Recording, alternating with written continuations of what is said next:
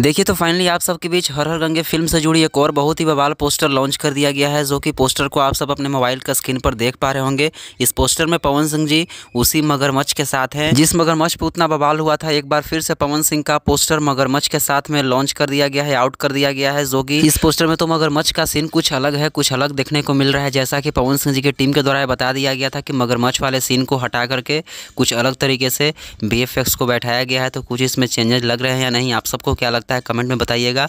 आप सबको बता दूँ कि पवन सिंह जी की फ़िल्म हर हर गंगे 20 अक्टूबर से सिनेमा घरों में लगने जा रही है, जो कि ऑल ओवर इंडिया रिलीज़ की जाएगी। बहुत ही बवाल, बहुत ही ज़बरदस्त भोजपुरी फ़िल्म इंडस्ट्री की सबसे बड़ी फ़िल्म होने वाली है हर हर गंगे।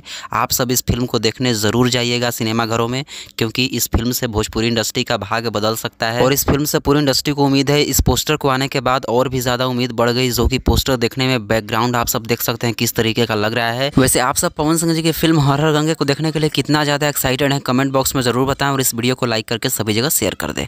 धन्यवाद।